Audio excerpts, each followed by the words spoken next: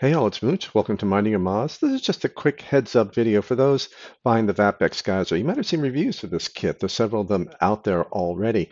Now, the, the kit shipped to reviewers included the battery, a Vector Plus 21700, but those kits, the ones with the battery, will be sold later. The kits being shipped now do not include the battery.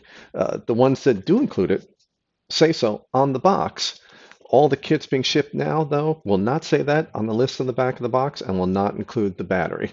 Now, some websites selling the geyser say the battery is included. Uh, some say there's no battery included, and some offer you an option included, uh, namely, you can buy the kit with or without.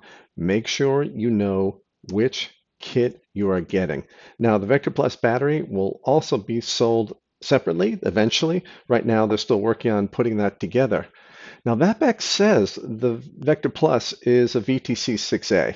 Uh, the marketing material says it's a Sony, but Sony sold their lithium ion battery business to the Murata Corporation in 2017. It's a completely different company. They're not part of uh, Sony at all.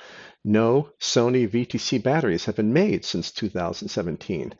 If the Vector Plus is a VTC 6A, then it is a Murata. Now, the Murata VT6, VTC6A is the same cell as what Sony made.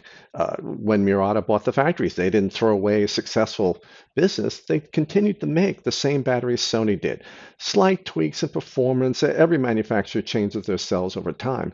But the ones that are manufactured by Murata now say Murata on the wrap and they're essentially the same as the ones Sony made. If you have VTC cells, any type, that do not say Murata, then they are older Sonys, or at least three years old. VapX said Sony in the marketing materials and on the website because that was a name most people know. They hadn't heard about Murata. But that's a little bit confusing uh, because the cells, the VTC cells, say Murata on them.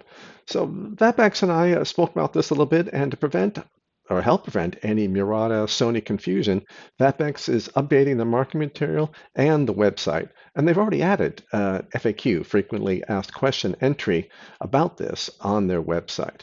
Uh, right now, I am testing the Vector Plus battery, uh, just the usual test to confirm what cell it uh, really is and its true ratings, because there are some big numbers on the wrap, and we'll see how well it does. Hopefully by the end of next week, I'll have the results of that testing. So just a quick recap, the Plus 21700 is not included with the geyser kits being shipped now, but with and without battery versions will eventually be sold though by VapX.